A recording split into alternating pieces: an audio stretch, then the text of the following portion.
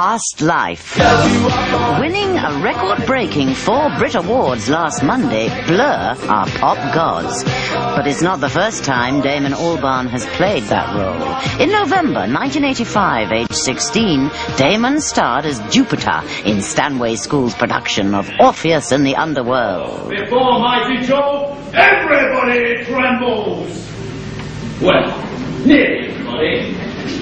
Between you and me, old boy, I do have rather a time of it. Want to try and keep the family in order all day and curtain lectures from the business all night.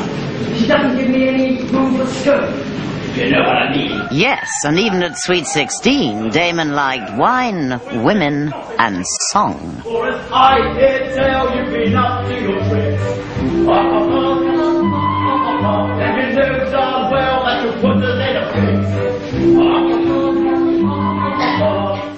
Eat your heart out, Stephen Fry.